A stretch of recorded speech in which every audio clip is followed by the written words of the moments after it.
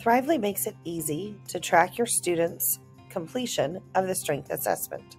From the dashboard, look for the navigation panel on the left, scroll down to Class Insights, and then Class Snapshot.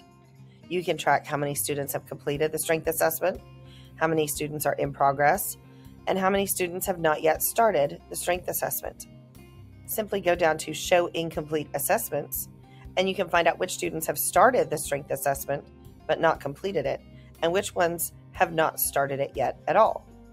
At Thrively, we believe every child deserves to thrive, and that starts with making sure every child takes the strength assessment.